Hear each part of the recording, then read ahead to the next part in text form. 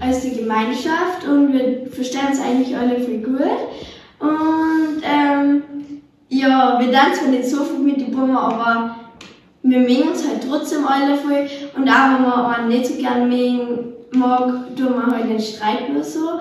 Und die Lehrer sind eigentlich auch alle ganz nett. Wir machen Ausflüge und so auch viel eigentlich.